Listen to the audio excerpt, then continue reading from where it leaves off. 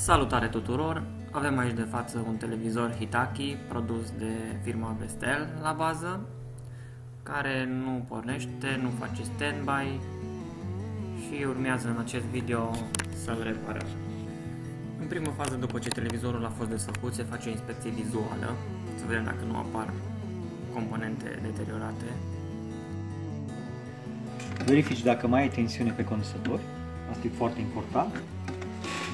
Descarci condensatorii și asta înseamnă că dacă condensatorii sunt încărcați, înseamnă că partea de primar e încă funcțională. Deci nu ai un scurt da. în partea de primar. Un defect tipic la sursele de Vestel uh, sunt diodele din secundar. Deoarece sunt de proastă calitate, ele nu sunt împerecheate ca și parametri și una dintre ele de obicei intră în scurt. Se pune multimetru pe diode și se măsoară se măsoară diode. Fiind în paralel, e suficient să măsurăm uh, pe o diodă dacă avem scurt pe dioda respectivă.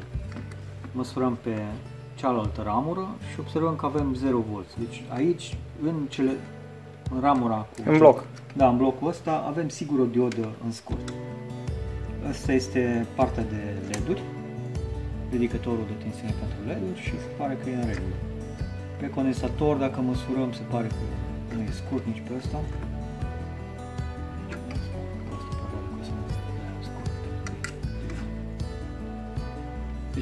prima dată faci inspecția vizuală. Dacă ai ceva ars, de obicei siguranță se vede că e afumat, uh, măsori tensiunea de alimentare. Dacă mai există tensiune de alimentare, înseamnă că sursa teoretic ar trebui să fie funcțională. Dacă asta e ars, atunci s-ar putea să fie puntea redresare ars. Plus uh,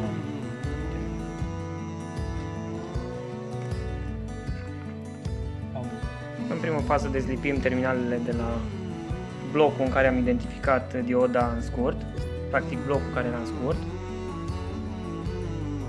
Prima diodă care am presupus că e defectă a mers la ghici. Se pare că e funcțională.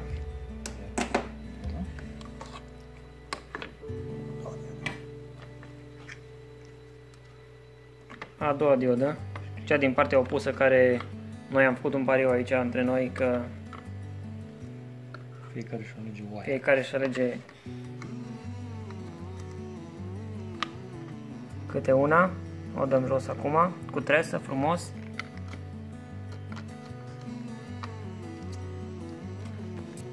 Trebuie un pic temperatură mai mare.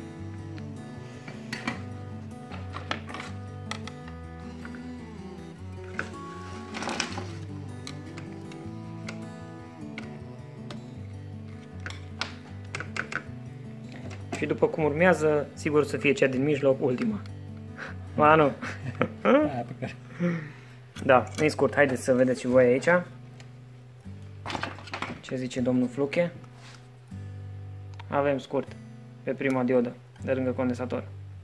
Nu e, nu e o regulă, poate să fie oricare, dar la noi așa s-a nimerit.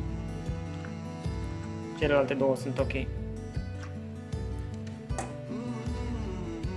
Așadar, dioda a fost înlocuită. După cum puteți observa, blocul este în regulă acum. Fiind o diodă Schottky, valoarea tensiunii de deschidere e mai mică, 195-200 de mV. Bun. Bun. Am pus televizorul în priză. LED-ul de standby a apărut. A și pornit televizorul.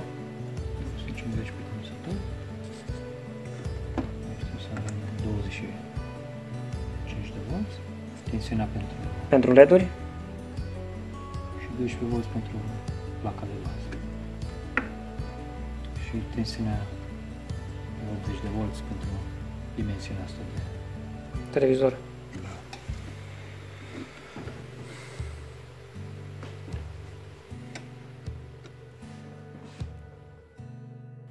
Tensiunea de alimentare pe LED-uri 56,957.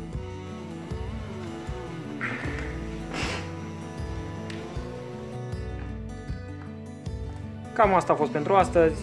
Salutare, abonați-vă la canalul de YouTube, apăsați clopoțelul ca să fiți la curent cu toate noutățile și numai bine. Salutare!